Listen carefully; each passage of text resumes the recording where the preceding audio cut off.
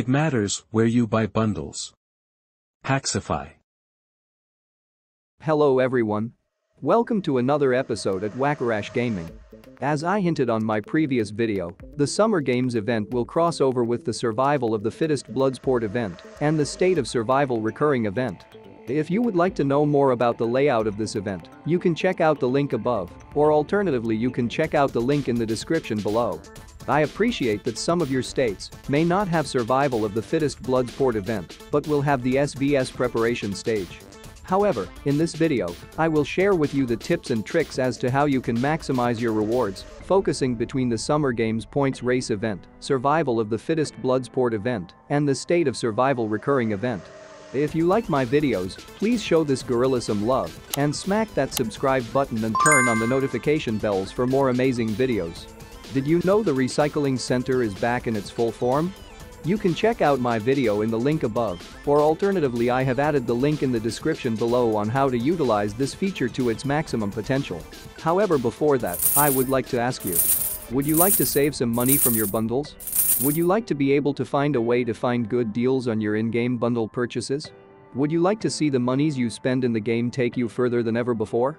Then let me introduce you to Packsify, the legitimate mobile discount service that is helping the gaming community save money. It is trusted by many of the top players in State of Survival and have received amazing positive feedback. There are many folks out there now that are already using Packsify enabling them to go further in their adventure than ever before.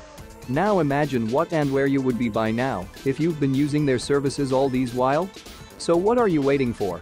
Check out their link in the description below and start saving today. As such on Sunday, if you are like me and you have many worthless epic hero fragments, I would recommend that you use the recycling center to exchange up to 2000 epic hero fragments to obtain 1.2 million points in the battle power-up recurring event. However, if you don't have as many, avoid using up all your materials. Separately, some of you may have your Reservoir Raid game on Sunday, and some of you may be participating in the Helicopter Coordinated Operations event. If you had the chance to watch my tips and tricks to rank high in the Helicopter Coordinated Operations event, you would have noted I advised that you can use biocaps to help you and your alliance to rank high in this event. Thus, you may naturally end up spending some biocaps to perform well in these events. As such, some of you may naturally already achieve the minimum required to hit the points race event targets for today. So don't do anything more than unlocking the rewards tiers for today. On Monday, I would once again recommend using the recycling center. Here you have two options, you could choose to recycle some hero gear parts or hero gear designs in order to achieve all the minimum points race event rewards, or alternatively you may want to use speedups to do this. If you were to use speedups to do this, then this will allow you to recycle more useless epic hero fragments for points in the battle power-up recurring event. Do the bare minimum and avoid doing anything else. On Tuesday, it's all about rallying infected fiend and killing infected. This will allow you to hit the rewards target for both the points race and the infected cleanup recurring event. If you have unlocked the Plasma Purification Center, it would also be worth to purify plasma up to heat 20 on this day.